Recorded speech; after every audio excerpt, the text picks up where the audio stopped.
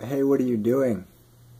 Sometimes I make uh, small mistakes or just get these, like these great ideas, like at the wrong time. They're small, but it's like, oh, this is definitely what I want to do. Like on a uh, on a hot day, like a really hot day. Like it's really hot, it's humid, I'm sweating. Like, oh, I should cut all this off because fuck me. So I'm gonna go out and I'm gonna get some cold beer to drink and then maybe a snack and I'll look around for my snack because I already have my beer. So I'll look for my snack and I'll be like, oh my god, I haven't had these in forever. Flaming hot Cheetos, that sounds amazing. I'm gonna eat those and then I go back and I'm still sweating and my mouth is on fire. My beer is getting warm and you know what? I feel like going in a hot tub.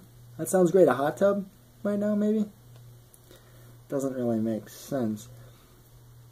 And then on a cold day, like like a really cold day, like I'm shivering, I'm shaking, I can't get warm, my nipples are freezing, and I think they're gonna fall off. There's frozen icicles under my mustache because my nose is leaking, and it's freezing at the same time. It's very cold, so I go out and get beer. You always get beer, no matter what. So, so now I have my beer, and I want a snack, and for some reason, I want some fucking ice cream. And then when I'm eating my ice cream, I think maybe I'll go for a swim. Take the polar bear plunge. That's the thing, right? For a charity or something.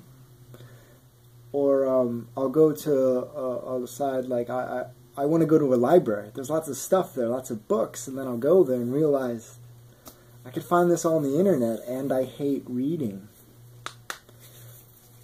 Or maybe um, I'll get hungry and then I'll be like, you know what? Today's the day. Today's the day I finally like sushi. That's right, I do. And then I get it and then I put it in my mouth and like, no. Today's not that day either. I don't know why I thought it was that day. I don't know why I keep thinking I'm going to acquire the taste for it if I keep shoving it in my mouth. Somehow I think I should. It'll make me seem more fancy or sophisticated, and I, I think I kind of want that or need that. Like sushi? Yeah, of course I eat sushi. Do you see these fucking glasses? Yeah, smart person.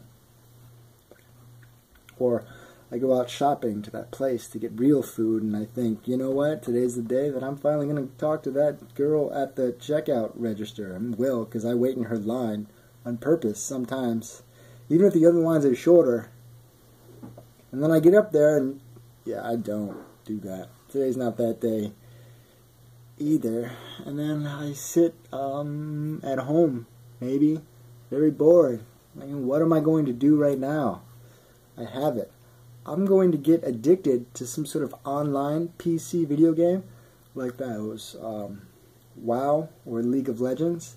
And then I'll start playing just to realize, like, yeah, this is kind of fun at first, but I don't know how the fuck I'm going to dedicate, like, an entire year of my life to getting fat and drinking Mountain Dew and playing this. I just, I don't have that kind of energy, and after a couple of days, I'm, I'm over it.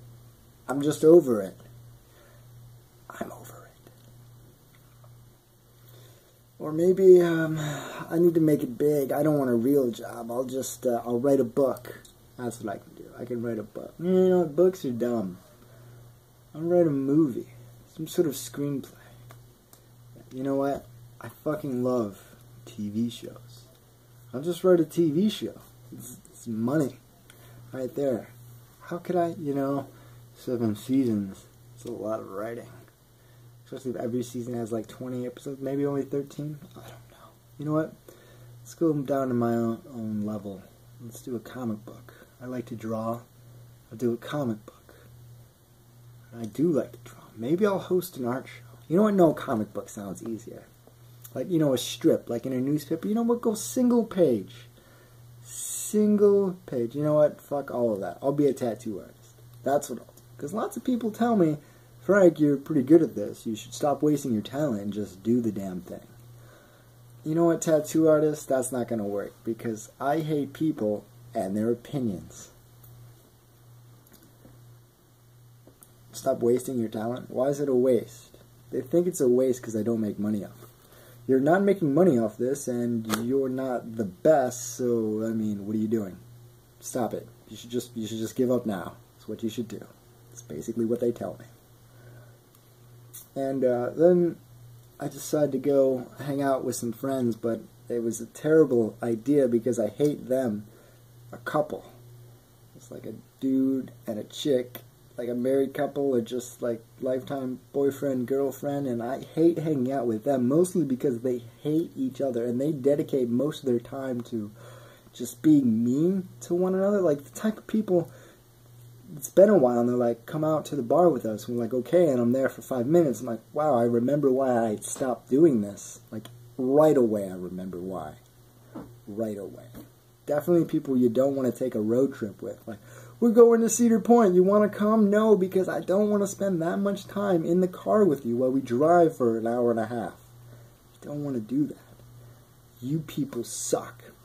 But then, at the same time, I kind of admire them and their passion and their rage and their motivation to just hate one each to hate each other with such just so much going on there. How do you muster up that much motivation? I'm in awe and wish I had or could care about something as much as they hate each other. One guy's like, she's cheating on me. That fucking bitch. I'm like, how do you know? It's like, how do I know? I'm like, yeah, how do I know?